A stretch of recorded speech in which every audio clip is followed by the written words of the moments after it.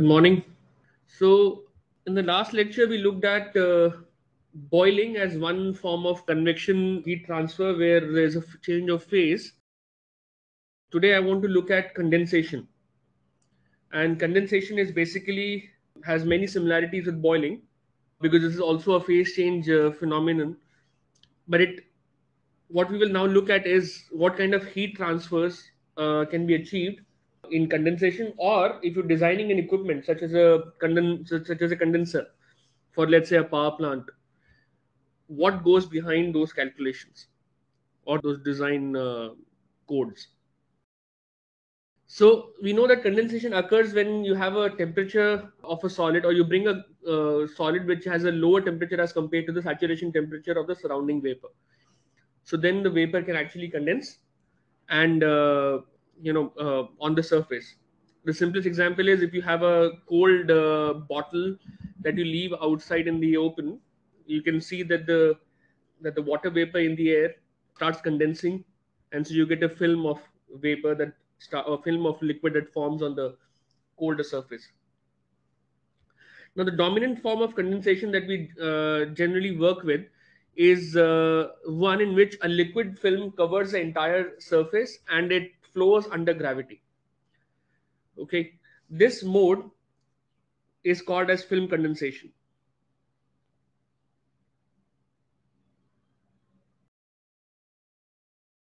So in film condensation, what we will have is we have a surface which is maybe at some temperature Ts, which is less than the saturation temperature of the surrounding vapor.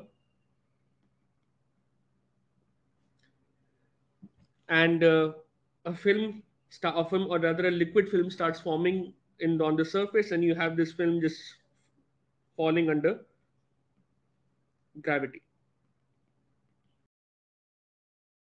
That is film condensation.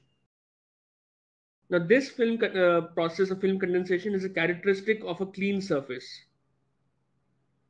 or I would even say an untreated surface.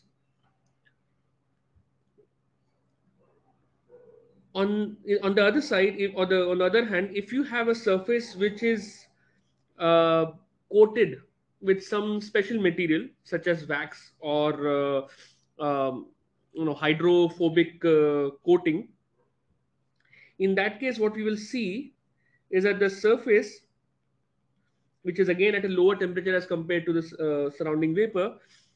Uh, so this is vapor here, and again, let me say the vapor is surrounding this surface. What we'll see is formation of small drops on this surface,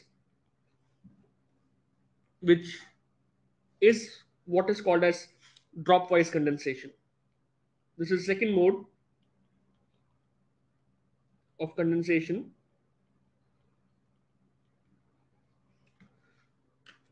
where basically you have a coating that inhibits the a sustained formation of a liquid film on the uh, surface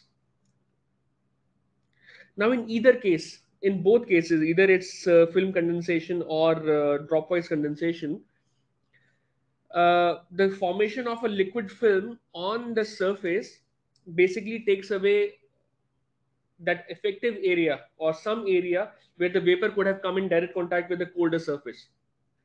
So the liquid film or the presence of a liquid on the surface acts as a resistance to heat transfer. So there's no direct contact between vapor and the colder surface. But because the uh, amount of liquid on the surface is much lower or you know is much uh, lesser in in dropwise condensation as compared to film condensation or to put it the other way around uh, the vapor does see some places some pockets where it can come in direct contact with the colder surface. The process of dropwise condensation is much more effective. Okay the resistance is lower the drop so dropwise condensation is much more effective. Uh, but then there's a problem. So dropwise condensation is effective would mean that the H heat transfer coefficient that we get in dropwise condensation would be more than the H we get in film condensation. but it is inherently challenging to maintain dropwise condensation for extended periods of time. And this basically happens because sometimes the coating that you have put that you have put on the surface to ensure that you get drops that form may wear out. If there's a wax that you put in, the wax may actually wear off. You know, may may uh, may be wiped off from the surface. So dropwise condensation tends to I mean, when you when you do design something, dropwise condensation may not be uh, as effective in the long run, or you may not be able to ensure it in the long run. And since the since the film condensation uh, heat transfer coefficient is lower than dropwise condensation, all typically all design calculations consider the formation of film on a surface when we do you know when we're starting out with the, some design analysis. So we don't design condensers based on dropwise condensation, but the traditional way is to design based on film condensation. So what we'll do is we'll look at some physics behind film condensation today. And uh, you know we can derive what kind of heat transfer rates or even films that can be formed on a on a cooler surface. So to begin, we look at laminar film condensation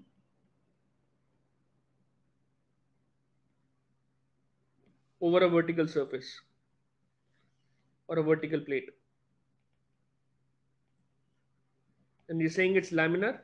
We're starting with laminar analysis because that is where uh, an analytical solution can be obtained. So the geometry is something like, let's say it's something like this. We have a surface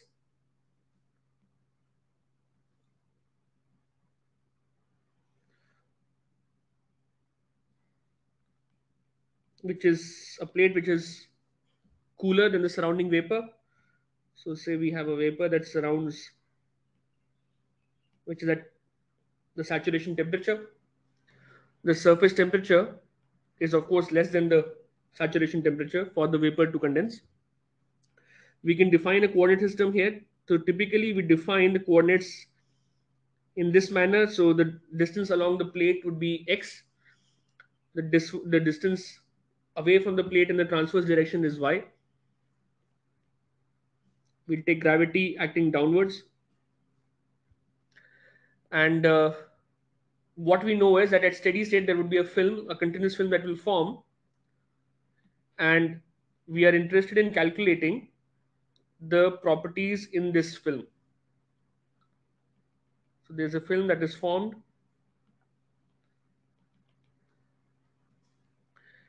And we want to know what is the thickness of the film, first of all. So at any distance x, say the film thickness is delta, which I'm going to denote as a function of x.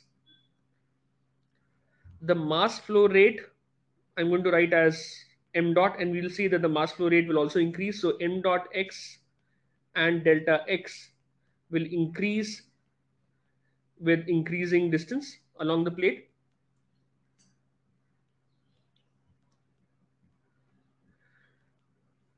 Uh, what we'll do is to do this analysis to calculate this film thickness, we will make a few assumptions as well. So the assumptions that we'll make are the following. First of all, we'll assume that, as I said in the title itself, that the flow is laminar.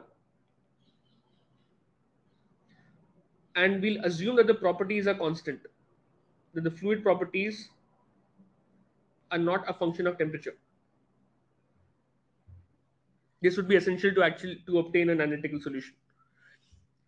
The second thing we'll assume is that the gas or the vapor that is surrounding the surface is a is a pure vapor and at Tsat. So as I said, it is at saturation temperature. So basically what I'm saying is that the vapor is not superheated. It is at the saturation temperature. And since it's at, it's at saturation temperature and the vapor is surrounding the surface, so the vapor does not have any temperature gradient because it's everywhere Tsat. Tsat is the temperature at all places in the vapor. So there is no gradient in the vapor. And so heat transfer from the vapor to the film happens at the interface where the vapor comes in contact with the with the liquid film and that is purely because of condensation so heat transfer. At the liquid vapor interface happens due to condensation. What it means is that the latent heat would be released at the interface and that heat would travel along the or would, would basically be transported across uh, the the condensate in this case the liquid the third assumption that we'll make is that the at the liquid vapor interface there is negligible shear stress. So du dy at delta, which is the thickness or the, the location of the interface, is zero. That is a way we define negligible. This is how we define shear stress. So we're saying the shear stress is negligible at that location. Now we expect, by the way, let me also say this now. We expect the temperature and the velocity profiles to be to be developing in a certain way for instance if i had to write uh, define the velocity profile i know it would be zero at the surface and then it would basically increase sorry it would increase in a certain way right? So that would be some velocity profile that we should see. So this is u of y. And if I draw the temperature profile, right, so that would also be, it would start with the low temperature and then maybe go to the high temperature.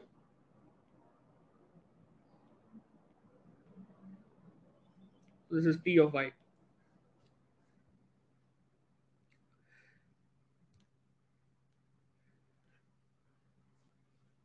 So what we'll do is because this the problem gets complicated if we have both variations uh, or if we if we unless we make an assumption about advection in the in the condensate it is very difficult to calculate the the uh, the mathematical form of these boundary layers so the fourth assumption that we will make is that we will assume that the velocities are low inside the condensate so in the film we have low velocities.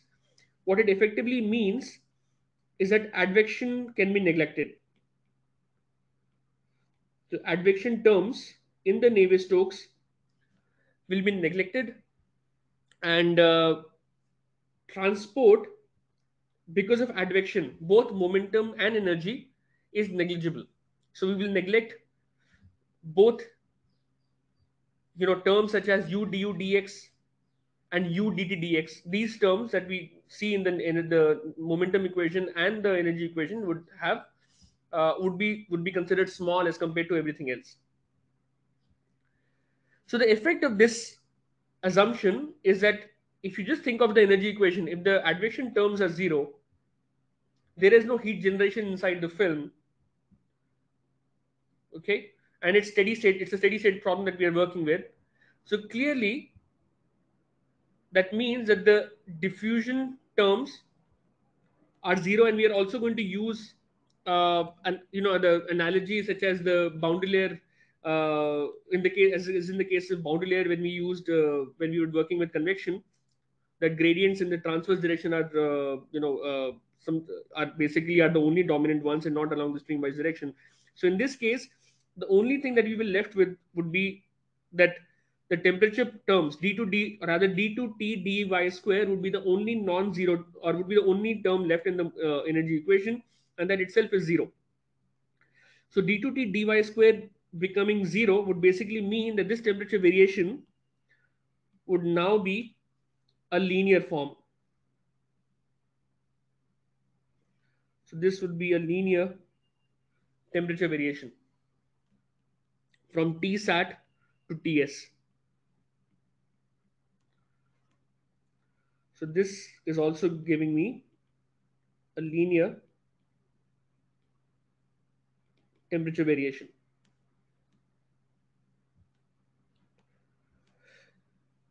Finally, once we have these assumptions in place, we can then look at the momentum equation. And in general, the momentum equation will be mu d2u dy square is dp dx minus x, where x is the volumetric body force. That means it is it has units of force per, per, per meter or per uh, unit volume. Now we will apply this equation in both the liquid and the vapor phases because there are two fluids here. Okay, there are two fluids, so this equation needs to be applied in the liquid phase and also in the vapor phase. So we'll start with the vapor phase because that is where things become easy. As I said, the transport, uh, first of all, the entire vapor phase is, is at Tsat. And also because there is zero shear stress at the interface, that, that equation basically carries forwards. And we can write in terms of y momentum, dp uh, dx in the in the sorry the x momentum rather I should say because x is along the uh, x is along the plate now. So dp dx would just be rho v into g. That is because du dy in the vapor is zero.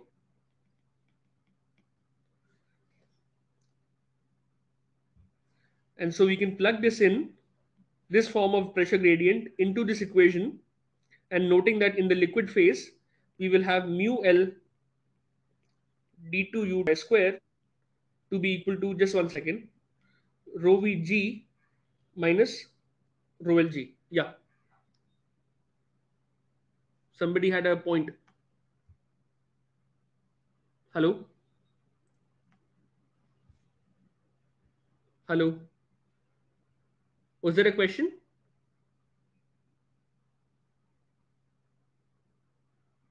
Okay.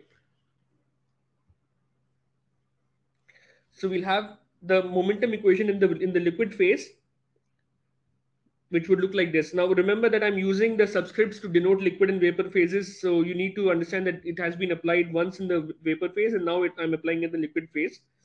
So this becomes minus because rho L being more than rho V, we'll just write it at write it in this form. So this is simple now. We assume the property is a constant, so I can integrate this equation twice and apply boundary conditions. The boundary conditions are that the velocity at y is zero, uh, yeah, at y zero, sorry, y zero is zero, and the second boundary condition was that du dy at y equal to uh, again delta is zero. So if you apply these boundary conditions, we expect that the velocity profile of force will be parabolic because there's a second order derivative here and this is this side is a constant. And uh, the velocity profile would be parabolic with it reaching a maximum at the edge of the interface. So at the at the interface between the liquid and vapor, the velocity will be maximum. So what you should get in this case is that the velocity profile u of y should be g rho l minus rho v into delta square by mu l into y by delta minus half y by delta square. So the purpose of writing it as y by delta in, in this case is to normalize the coordinate along the along the thickness of the film. So this film thick this velocity profile can now be used to derive other quantities. Remember delta is not known.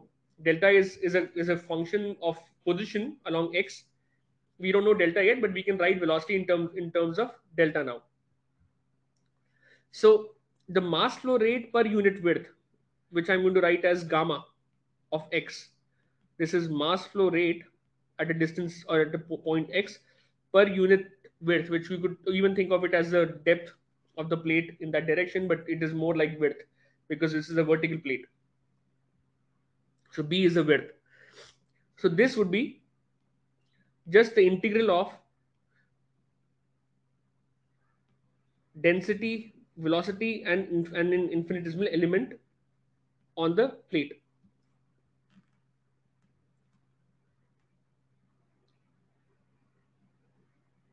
And so we can also compute this number. This comes out to be rho L, rho L minus rho V, G delta cube by 3 times mu L. So this is gamma x, which is m dot x by b. So say I'm just going to store this as equation 1 because I will use this eventually. Now what we can also do is, this was just momentum conservation. We can also do an energy conservation or energy balance in the film. So energy balance in the film would mean that I could maybe take an element which has a thickness dx and look at what are the different uh, energy uh, or apply an energy balance on this element. So look at what comes in and what goes out in this small element.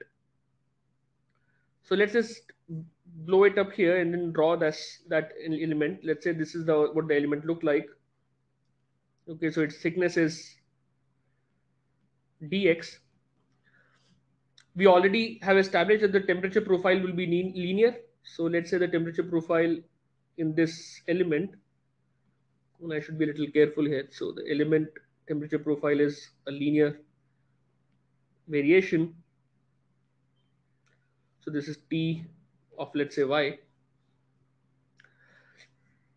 In terms of just mass flow, what we see is that there is some mass coming in here, maybe m dot plus dm dot going out. The left side is a wall, so there is no mass flow across that across that wall, and so clearly we have dm dot, which is the additional liquid that has been condensed coming from the from the vapor side.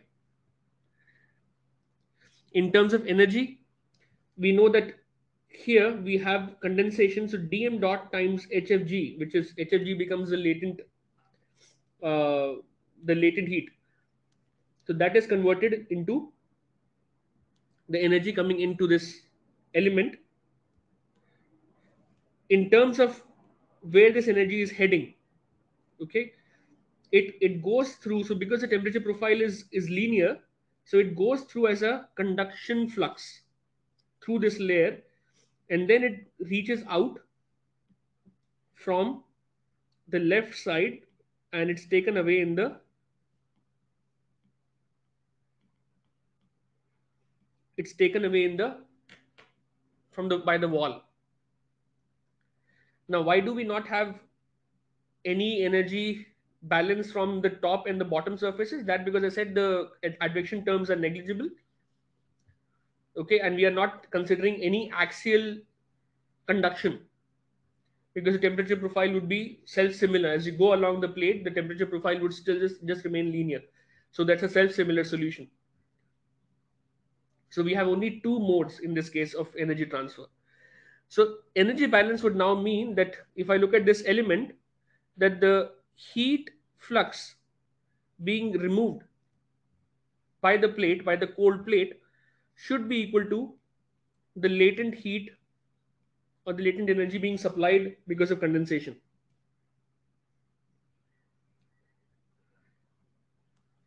And if I use this now, knowing that the flux can also be written in terms of the temperature variation in the in this infinitesimal element.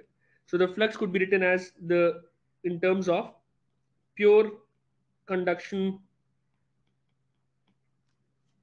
uh, or in terms of Fourier's law. So T sat minus Ts by delta into KL.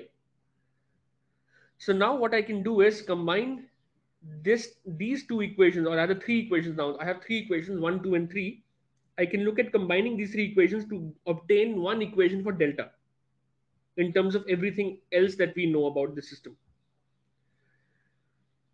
So the way to do it, and I'm just going to do it very uh, quickly here, I can differentiate this equation, equation one with respect to x. So I'll get dm dot dx in terms of d delta dx. Okay, and I can substitute flux here in terms of temperatures and delta here. And dm dot dx will then become in terms of d delta dx. So I will actually have one ODE for delta where mass flow rate would be gone, flux will be gone. It would only be in terms of known properties. So I can take derivative or take dm dot dx from equation 1 and then combine with equations 2 and 3. By doing so, what I will get is something like this. We will get we'll get delta cube d delta to be t sat minus ts kl mu l dx by rho l rho l minus rho v into g into hfg. So that's just algebra by rearranging terms in these three equations. So using this, we can then integrate from some distance from the leading edge to some distance x and I know that the, the leading edge that the thickness of the film would be zero. So we integrate from zero to delta. So this allows us to calculate the thickness of this condensate if there was laminar flow at some distance x. So delta then comes out to be 4 KL mu L T sat minus Ts into x by G rho L rho L minus rho V HFG, the whole thing raised to or the fourth root of that, or 1 by 4 uh, exponent.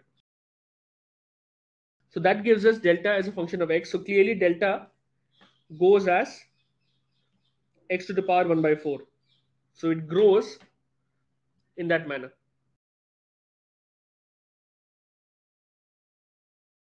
Now, what was noticed is that when, when Nusselt was actually do, doing this analysis, there was something that was noticed that this analysis, because it does not include advection effects, it tends to overpredict the film thickness. So, Nusselt and Rohsenow actually refined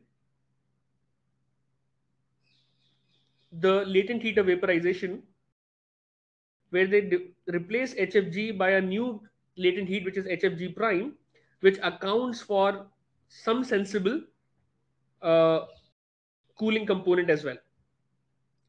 So they said that advection effects can be better taken if you have also sensible uh, sensible would mean that without phase change. So basically any uh, change or any heat transfer because of temperature difference, not just because of phase change. So they modified HFG as HFG plus a constant times the specific heat of the liquid into T sat minus Ts. So by doing this, advection effects, by the way, this is purely empirical, could be better accounted. So what we do is in in most of these calculations that we'll be doing later, this HFG will be replaced by HFG prime. Okay, note that HFG is the is the latent heat at Tsat, but we will now replace that with HFG prime, which will also have a variation because of tsat not being equal to ts. Further, what we can also do is very similar to all convection problems, we can calculate the Nusselt number and the heat transfer coefficient for this mode. So to calculate the Nusselt number or the heat transfer coefficient, we look at the definition of the flux again. So flux was defined as, in terms of Newton's law of cooling, is defined as local flux as Hx into T sat minus Ts. And that we can also write as in this case, we said it is only purely the, the transport of energy is purely because of conduction. So that becomes equal to KL by delta T sat minus Ts. So clearly these two will cancel. And so local heat transfer coefficient would be just KL by delta. And so we can see that the heat transfer coefficient will decrease as x to the power minus 1 by 4.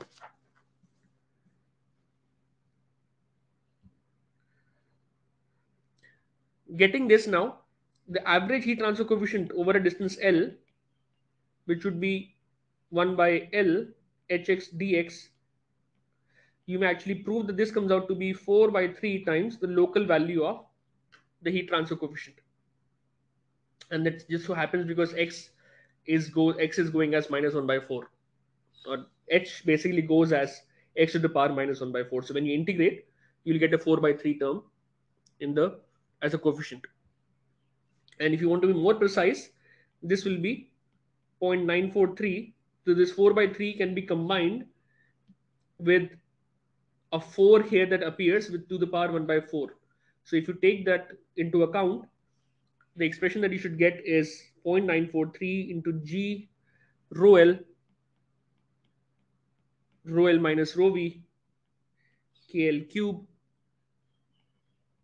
hfg prime by mu l t sat minus tl into l to the power 1 by 4.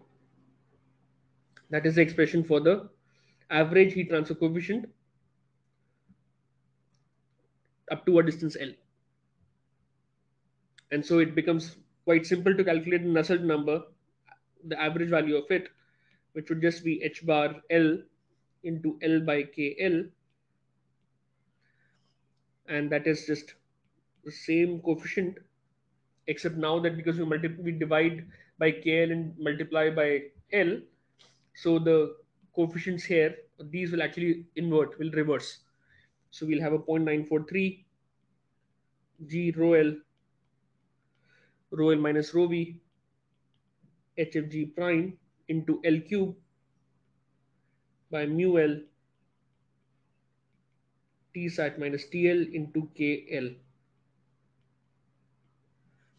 1 by 4. So that is the most the easiest correlation in condensation that we will use going forward. Now you should note that in this in this correlation, if I can call it, even though it's an analytically derived solution, in this correlation, the uh, properties that we need are the uh, density, the viscosity, the thermal conductivity of the liquid, all these things. And so these should be calculated at the film temperature. So these should be calculated at average of Tsat and Ts. And HFG has to be calculated at, at Tsat only because that's how it is defined. So that was laminar condensation. Now, even in in in as is the case in most uh, fluid mechanics uh, problems the formation of a film would basically grow as we as i said in, as we go along the plate the, the thickness of the film will keep growing and so there would be a time when the film no longer remains laminar and so to define the characteristics of this falling film we use a Reynolds number. So we define a Reynolds number which is based on the thickness of the film at some distance x. And it is defined in terms of mass flow rate. So it's defined as 4 times gamma by mu L, where remember gamma was the mass flow rate per unit depth or per unit width. And so if you plug in some values, this would be 4 rho L um delta by mu L, where um is the mean velocity at any point or at any location x. So the Reynolds number becomes an indicator for whether the flow will be laminar or, or turbulent and the flow that we expect now here or we see is has different zones or different regimes i should say. So the flow starts off as very nice and clean which is called as we said laminar. And this regime is what is called as laminar and wave free zone where the interface between the solid and vapor is is regular it has uh, it is monotonically changing. So it is just in, the thickness is increasing without the interface showing any any uh, any waves. So at some Reynolds number corresponding to RE delta corresponding to about 30 we start seeing some wiggles on the on the interface. So we'll see some wavy nature on this interface this is still laminar but we will say it is a wavy interface. And this behavior happens till about we reach RE delta of about 1800 beyond this the surface is irregular which is basically the idea of chaos and then from there on you get a turbulent film.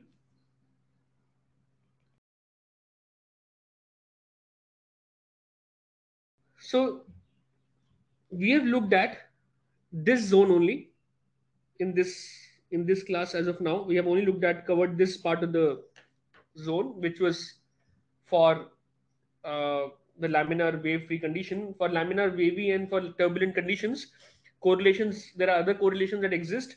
Some of them are actually given in the book uh, but i don't think i will ever go in that zone so uh, i have not put them here. Uh, but they are there. In case you are you know doing these calculations you should know that this this data also exists and you can uh, you know you can do this these calculations in the in the other zone in the other regimes as well. Further we have looked at only uh, condensation on a vertical plate if we had condensation over a maybe a cylinder or even a sphere. Hmm, if we had condensation around over a cylinder or a sphere again there are correlations that exist for laminar uh, condensation. The simplest way to write these correlations is that they would be Nusselt number would be defined in the same way except this number which i'm going to call as c the coefficient C in the cylinder case happens to be 0.729 and in the case of sphere it happens to be about 0.826 and the other change that you have to make is that you have to replace L in the case in the vertical plate correlation by D in both cases. That is a characteristic length. So if you replace L by D in this correlation and replace this coefficient c by whatever values are given, you can actually obtain the Nusselt number for uh, that geometry. Okay, so uh, I'll stop it here in terms of condensation analysis. Uh, I spent considerable time actually. I didn't intend to do it even this into in this depth, but still, I think for the sake of uh, giving you some flavor, I have uh, indulged in uh, going a little deeper into this mode. So what I will do now is an application now of whatever we've learned so far. We've learned different modes. We've learned conduction, convection, radiation. Now we look at an application and this application comes in the design of heat exchangers. And we see heat exchangers everywhere around us.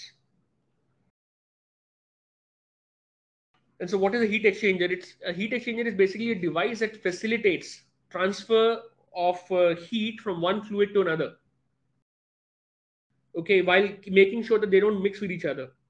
So we'll be transferring, or we'll be using these devices to transfer heat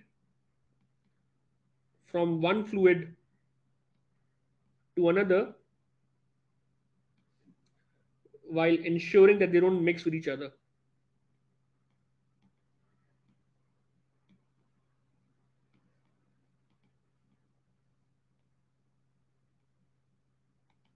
So there would always be a physical barrier between the two fluids. And so because there's a physical barrier, that means there must be a solid surface that is that separates the two fluids. So we'll also have conduction coming into play. So in this, in design of heat exchangers, when we do any analysis, we have three fundamental modes that we will work with. We will deal with convection in both fluids. So we have two modes of convection, and then we'll have conduction through the solid, which separates the two fluids. So when we do analysis, we will calculate uh, our resistances accordingly. Further, the heat transfer between the two fluids at any location, as I will show you some examples today, uh, would depend on the temperature difference between the two fluids. And the temperature difference itself becomes a variable. It keeps changing from location to location. And so the analysis is, uh, is slightly, slightly tricky but it's not something that we have not covered. In fact, we have covered one uh, fundamental concept uh, in the past, but we'll bring this again, especially when we have these variable temperature differences. Now, the simplest type of heat exchanger that I can describe is what is called as a, uh, you know, which is, is, is a device in which you have flow going in two concentric tubes. And this is what is called as a double pipe exchanger.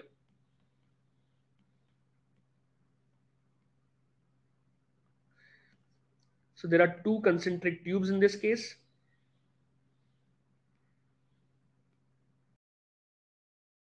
And the device would look something like this. You have,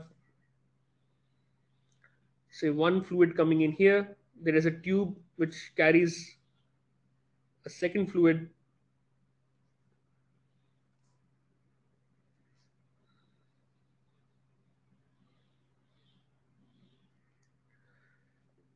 So there's, let's say, a hot fluid coming in through the tube and it goes out of the tube here.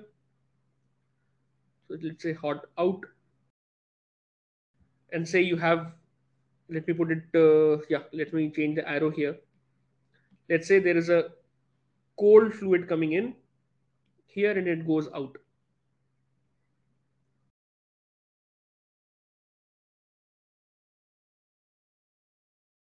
So what we see is the hot fluid goes here. And let me denote the cold fluid by a maybe a, a lighter color, let's say blue. So the cold fluid moves here.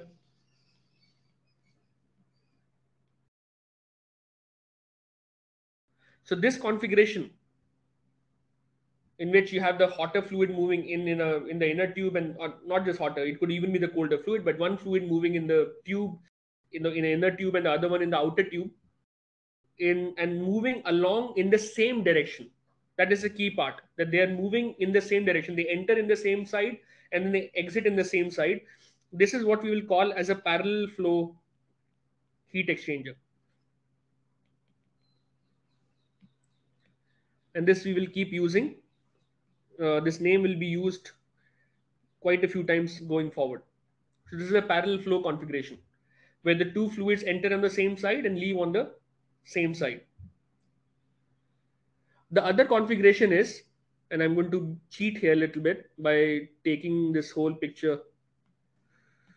So the other configuration would be one in which we can maybe have the same idea except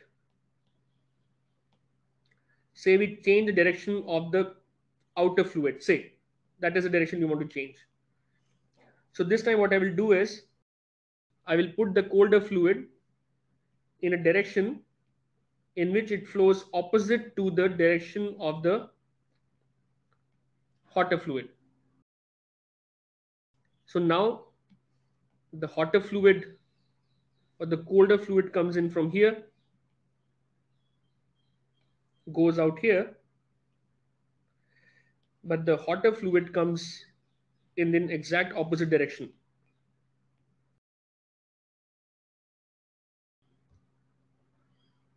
And so this heat exchanger is what we will call, call as counterflow type heat exchanger.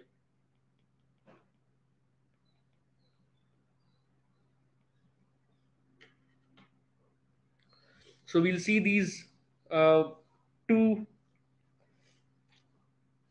uh, configurations quite often. Okay. Now there are, in addition to uh, these this classification, uh, there is a second uh, set of classification which is defined in terms of uh, the heat transfer area. Now remember that these two fluids are actually exchanging heat across this area, if I can say, the circumferential area of the inner tube, because that is a uh, area across which heat will be transferred from maybe the hotter fluid to the colder fluid. So in terms of area itself and the area and the volume of the heat exchanger, we can also have a classification. So the classification is based on a parameter which is called as beta, which is the ratio of heat transfer area to the volume of the heat exchanger.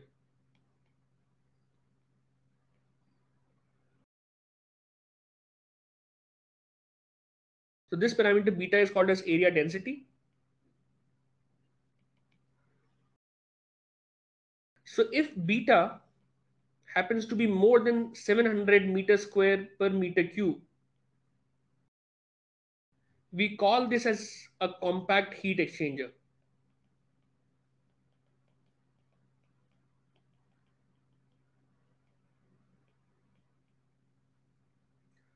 So a compact heat exchanger is one in which there's a large area for heat transfer per unit volume.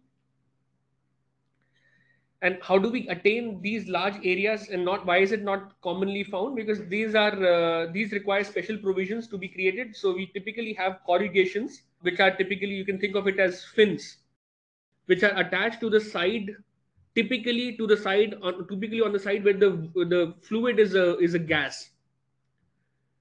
And so by increasing this this heat transfer contact area we can actually reduce the resistance on one side and make it make the heat transfer rate more or heat transfer more effective.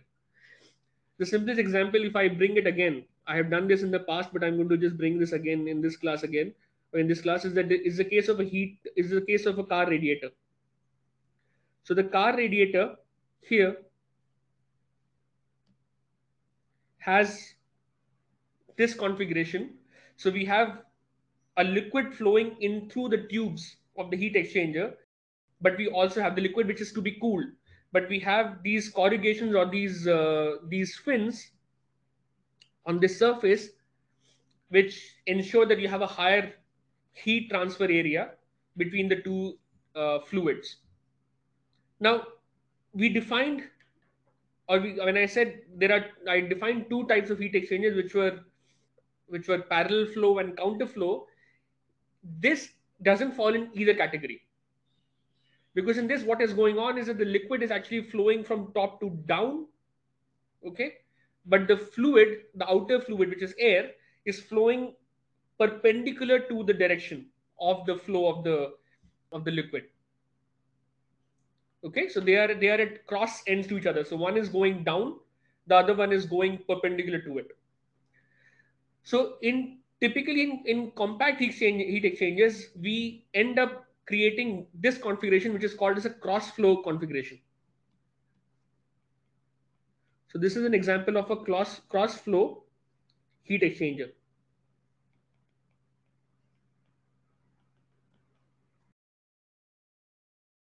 So the two fluid, the two fluids are not either parallel to each other or against each other, but they are perpendicular to each other. Okay, so there are examples of this cross flow configuration as well.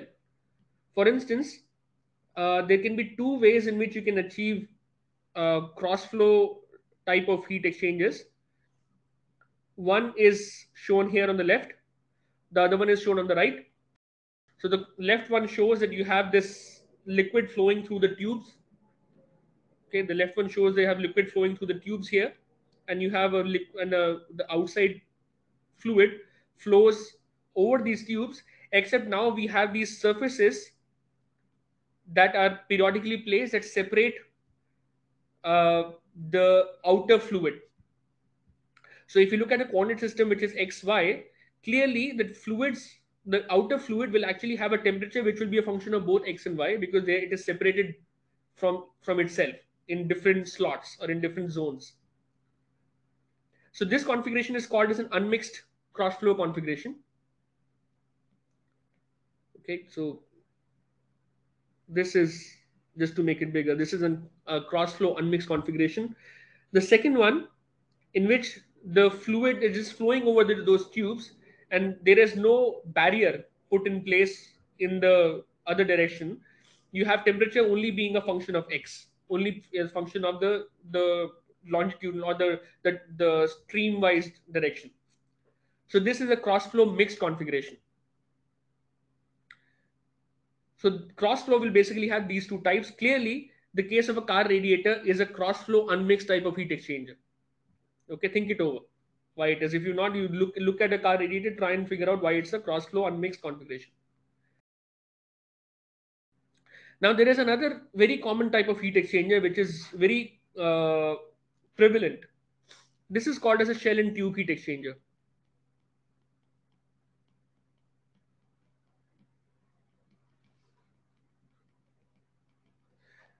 So you will see this exchanger, I would say, more often than anything else in, in, in, in industry. And this looks, it's a slightly more complicated design. So this looks something like this. And let me just explain what I'm showing here. So this shell and tube heat exchanger is one in which you have one liquid, let's say flowing through the tubes of the heat exchanger and the other fluid flowing through the liquid typically flowing through the surface area which is outside those tubes. So it goes around those tubes right? So you can think of a bank of tubes and you have a fluid which is flowing over that bank of tubes. So there are some features about the shell and tube which will better explain what what the design looks like. First of all there are these longitudinal tubes many many tubes in fact in a shell and tube heat exchanger.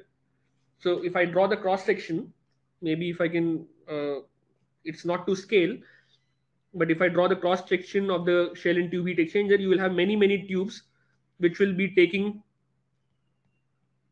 the fluid through the cross section. So there are many tubes through which the liquid flows. And these large number of tubes uh, which are packed in this shell the outer thing is called a shell now because this is tubes packed in something so this is this becomes a shell. So the axis of the of the tube coincides with the axis of the shell of the shell. Okay so the tube and the shell have the same axis. Uh, we have some features here. For instance we have uh, although i have not labeled it here uh, these components that i've drawn here in black these are called as baffles. And the role of these baffles is to actually increase the heat transfer coefficient on the outer flow on the shell side by increasing turbulence. So the flow has to turn around these zones to start from here. Let's say in this case, uh, let's just look at it one more time. The outer fluid comes in here. It has to flow around these baffles to make its way outside the or make its way to the out the outlet port of the shell the fluid, like another liquid, which is let's say in this case, which flows in the tubes, comes in here and has to gets distributed amongst the different tubes before it flows out. So the baffles are basically ensuring that you have many more turns, so you have much more turbulence created in the flow, and so you have a higher heat transfer. What we also have are these headers. There's a front end header and there is a rear end header. So these headers are basically zones which are used to accumulate this liquid before it enters into the tubes and before it uh, or you know at the time when it leaves these uh, tubes. Okay. Now there's a there's a there are advantages and disadvantages of using a shell and tube type heat exchanger. Uh, we'll also do some calculations in the in the tutorial sheet to understand what are the benefits of doing or looking at the design. But one of the things that is very very should be easily understood by now is that this type of heat exchanger is actually relatively large in size and it's also very bulky. it has a considerable weight. So it is not suitable for automotive or uh, aerospace applications. In in in at least in automotive applications that i've shown now the heat exchanger that we typically use is a cross flow type. It is it is compact. We can create corrugations because uh, we have we want to decrease the heat transfer resistance on the air side. So that there you know in these cases these uh, uh, these heat exchangers work better. But in industry especially when you go to a power plant you will actually see these kinds of heat exchangers the shell and tube type where you have luxury of space and you can carry a weight shell and tube becomes better. Okay. Now shell and tube also have their own classification. Uh, and this lecture is now i'm i'm hope i mean i can understand it's becoming a lecture on classification of heat exchangers but but please just bear with me for a for a few more minutes now. So shell and tube itself has its own classification. Uh, the classification is derived or written in terms of number of times that the tube or uh, the the uh, times a tube makes a u-turn inside the shell. So this is actually what i've drawn here is an example of one shell pass and one tube pass heat exchanger or one tube pass shell and shell and tube heat exchanger. So let me say shell and tube heat exchanger. But depending on how many u-turns you make you can actually get more variants so for instance let me use a different color for this. For instance you have a shell and tube which could look like this. So you have a shell and let's say there is a liquid that is flowing through the tubes and it makes one u-turn before it leaves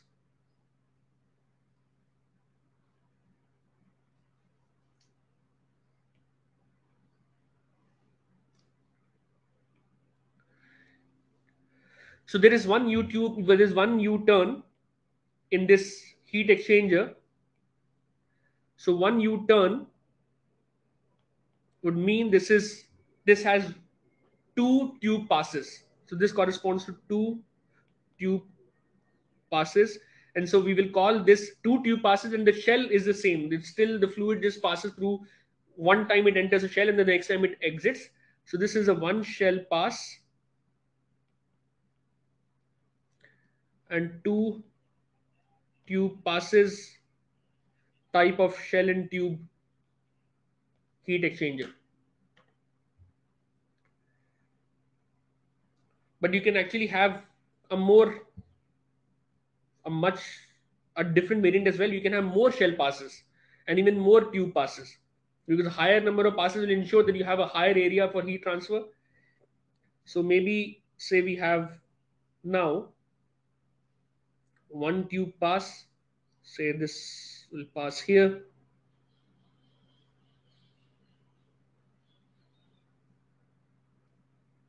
But now what we'll do is we'll turn this around again and make it pass again.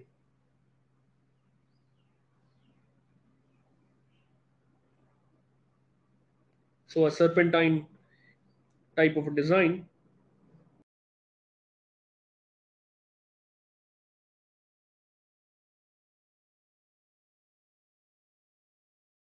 And just to make that the shell, I can actually put a barrier between the between the top half and the bottom half. So let's say that we have a barrier here in the shell.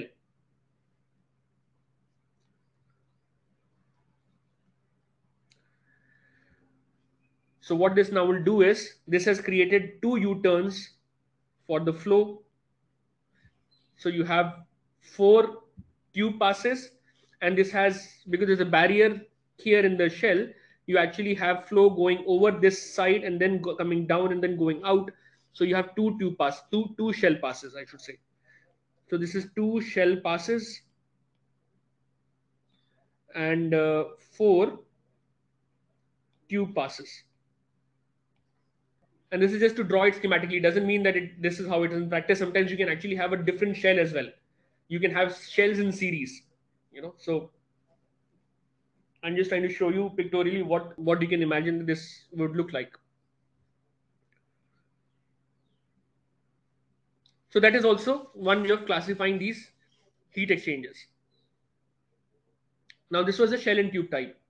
Now, the last one that I want to introduce because these are modern, these are our modern shell and tube is an old design. A modern heat exchanger would not look like this. Uh, modern ones have uh, more nicer features. So this is a a modern heat exchanger, which is what is called as a plate heat exchanger. And I've taken this image from a commercial company.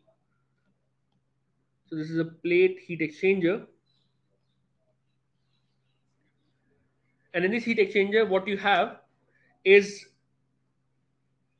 are plates that separate the movement of the fluid. So what you see here is that the liquid, let's say one liquid is entering here in these slots, in these holes. The other liquid is going through these holes. So the yellow, the red uh, denotes uh, in the in the schematic from the company. The red denotes hotter fluid. The blue denotes colder fluid. And what you have are corrugations. So these features that you see here, these features are actually corrugations. So they are small, small. You can think of them as small channels through which the fluid is going to flow, and so it will trickle down slowly. So it, it spends more time in these corrugations, and uh, the design is such that you have the a specific fluid flowing only in alternate layers. So, for instance, the cold fluid flows in this layer. Okay, so this is a cold fluid and it's surrounded by a hot fluid on both sides. So this is H and this is H. I don't know how, how clearly my uh, things are visible here. So this is H, I said, this is H and in sandwich between the two is a cold layer. By doing this now, you have effectively increased, maybe, you know, you doubled the area for heat exchange.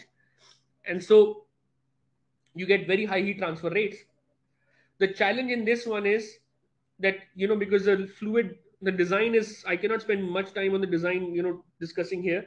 But what i can tell you very quickly is that there are these uh, gaskets here okay through which when the fluid flows the gaskets actually ensure whether the cold fluid goes into the plate or the hotter one. So the hotter fluid for instance here actually has a gasket which denies access to this plate on this side. So there's gasket which is here, which is not completely shown. It denies access for the hotter fluid to go here, but rather it can only go behind where the gasket is missing here on the on the lower surface. So the hotter fluid flows in from this side, colder fluid flows here, and because they are separated by plates which have large, which are bringing large heat transfer area, you actually end up getting much more heat transfer. So that is a plate heat exchanger but there are because you have these gaskets so these gaskets can sometimes wear off. And uh, so you can have mixing you can have leakages.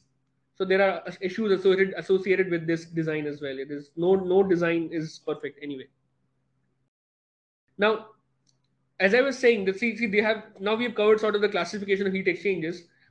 As i was saying that we would have to deal with convection and conduction as modes of heat transfer for any design analysis and uh, the way to do it is if we bring the a very old concept that we covered maybe in the i don't know this fifth sixth lecture or sometime around that. So we covered the concept of overall heat transfer coefficient. And we bring this back now.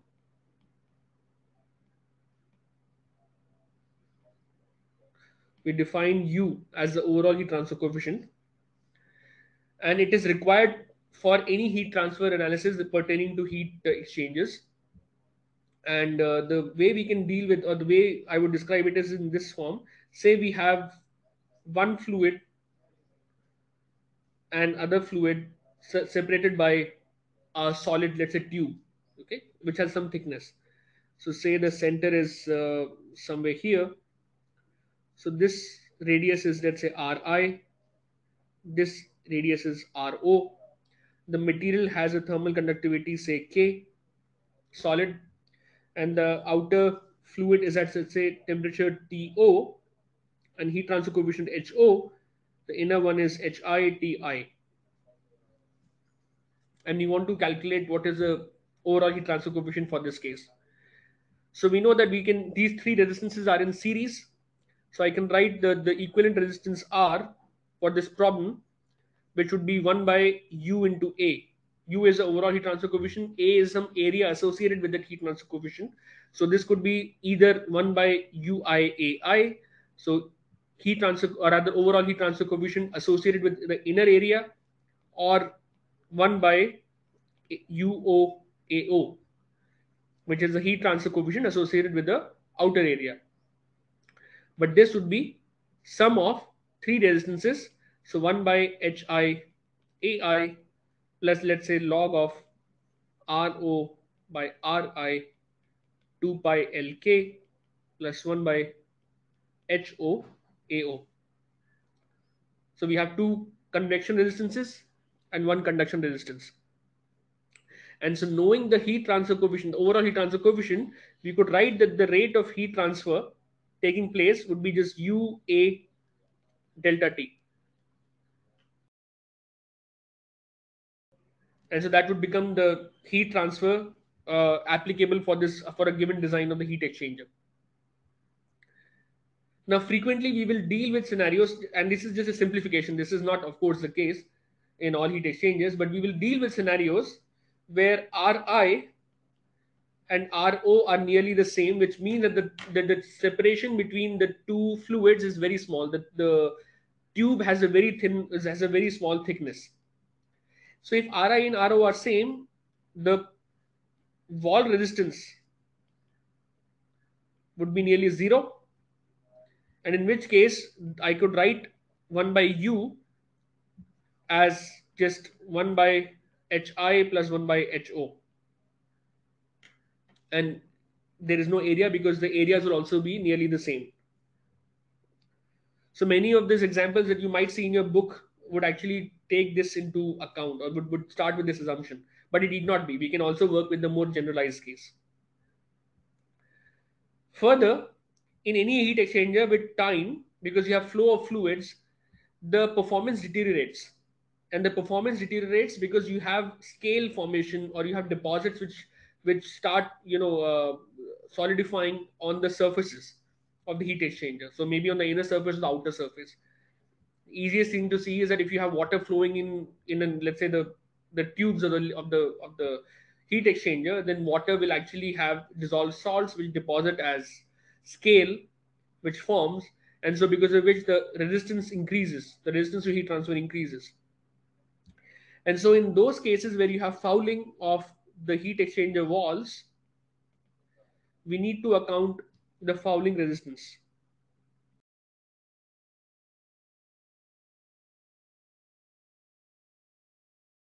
And the way to do it would be that we now calculate the equivalent resistance as again 1 by UA, which would be 1 by say HIAI plus the fouling resistance associated with the inner surface by AI plus the wall resistance, which is the conduction resistance, plus let's say the fouling resistance associated with the outer surface, plus